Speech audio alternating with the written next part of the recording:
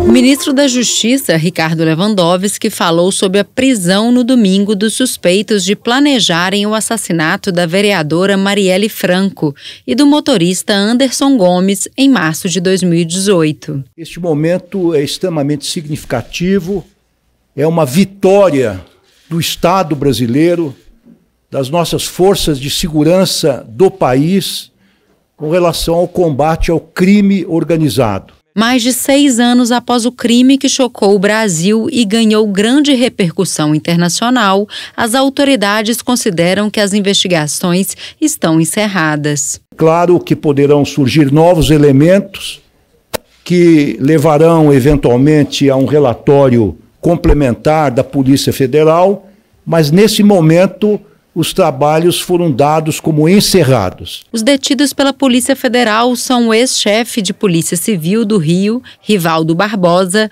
o conselheiro do Tribunal de Contas do Estado, Domingos Brazão, e seu irmão, o deputado federal, Chiquinho Brazão. Os três foram apontados pelo ministro do STF e relator do caso, Alexandre de Moraes, como supostos autores do assassinato de Marielle e de seu motorista Anderson Gomes, ocorrido em 14 de março de 2018.